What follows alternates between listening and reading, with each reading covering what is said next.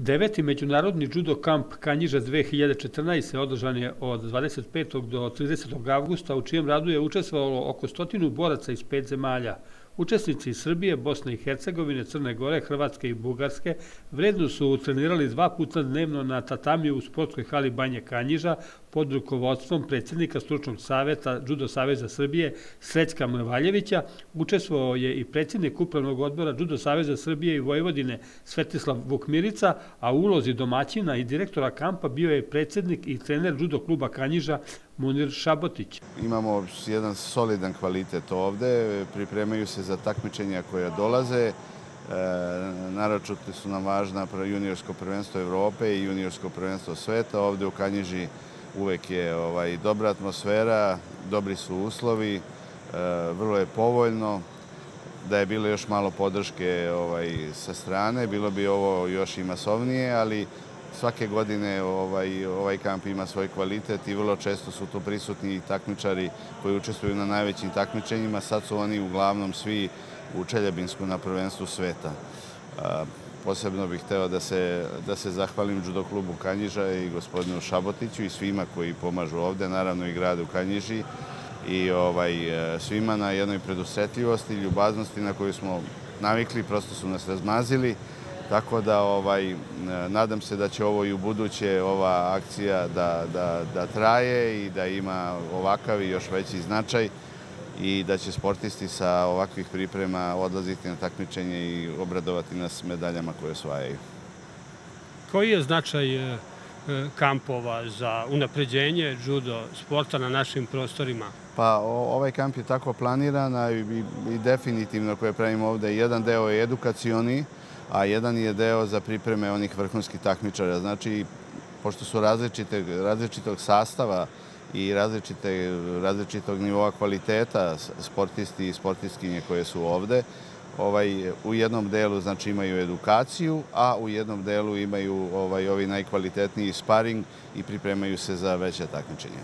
Milan Bjelivuk iz Ženeve, nekadašnje poznato ime jugoslovenskog judoa, specijalno je došao iz Švajcarske da se uveri kakvi su uslovi za rad u Kanjiži u nameri da Kanjiški kamp dobije još značajnije mesto na evropskoj i svetskoj mapi. Došao sam i nisam pogrešio.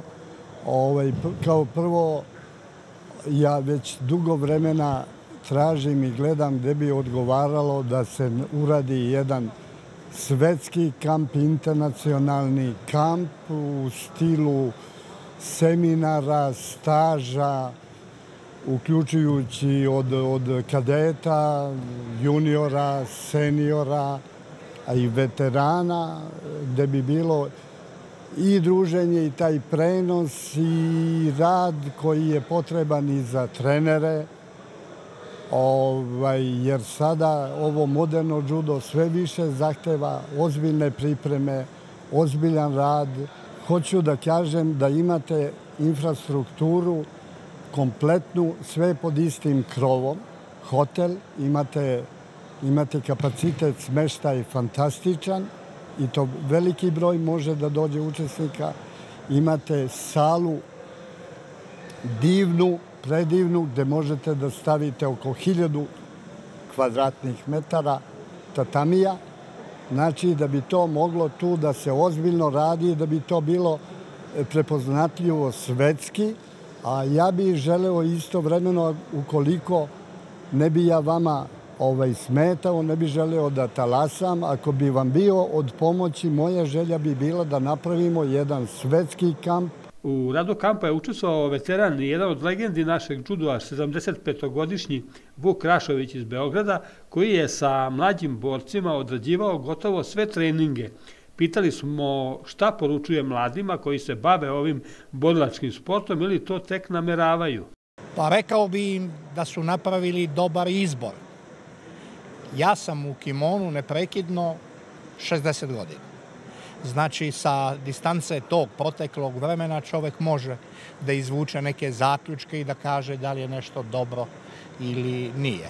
Meni je taj sport zaista pružio mnogo toga i voleo bih da mlagi, mnogi mladi ljudi odaberu to kao jedno vreme korišćenja svog slobodnog vremena. Znači, ne moraju oni da se time profesionalno bave, ali da to bude deo njihove svakodnevice, jer će im to u svakom pogledu obogatiti život. Popravit će im mentalno zdravlje, popravit će im fizičko zdravlje i stvorit će im veliki broj prijatelja. Judo je čudesan sport, ali ima jedna posebna njegova vrlina, a to je on te uči da savlađuješ izazove. I kroz sparingovanja i na neki način suprotstavljanja da izgrađuješ odnose sa ljudima.